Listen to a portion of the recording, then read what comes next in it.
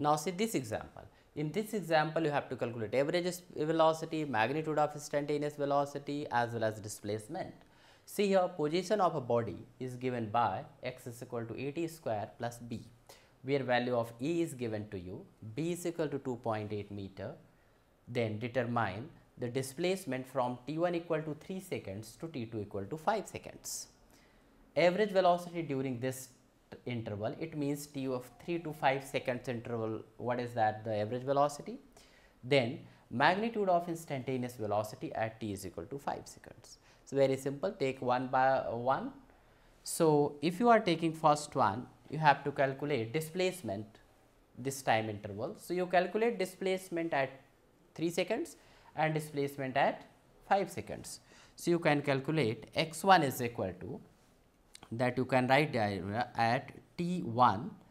So, x 1 is equal to a that is 2.1 into 3 square plus 2 that is equal to 21.7 meters. You have calculated x 1 Similarly, you can calculate T2 at T2 x2 is equal to 2.1 into 5 square plus that is your 2 is equal to 55.3 meter you can calculate this and this.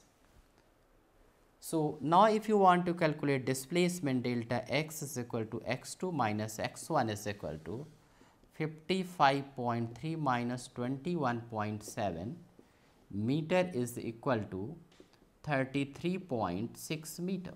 This is the displacement. Now, you can calculate if you have got displacement what you can calculate average velocity. So, this was the first part.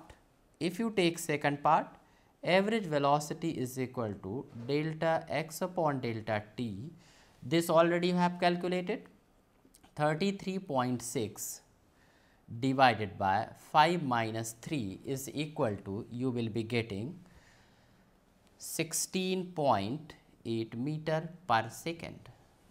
This is your average velocity. Now, you can calculate instantaneous velocity. So, for instantaneous velocity you have to differentiate it. So, now I am just removing this part and for instantaneous velocity we can write v is equal to that is third part of the question v is equal to dx upon dt that was d upon dt is equal to at square plus b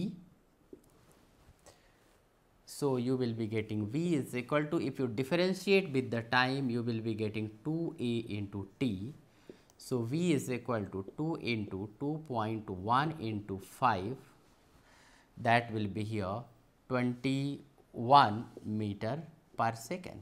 So, this is instantaneous speed or instantaneous velocity. So, using differential calculus you can use here you can calculate instantaneous velocity.